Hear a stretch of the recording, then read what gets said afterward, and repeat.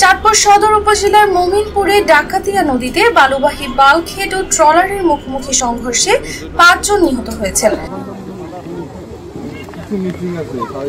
সোমবার ভোর ছয়টার দিকে এই দুর্ঘটনা ঘটে। ফায়ার সার্ভিসের চাঁদপুর স্টেশনের উপপরিচালক শহীদুল ইসলাম নিউজকে বিষয়টি নিশ্চিত করেছেন। আমরা সকাল আটটায় সংবাদ পাই যে মোমিনপুর নামক স্থানে দুইটি ট্রলার মুখোমুখি সংঘর্ষ হয় ঘন কুয়াশার কারণে।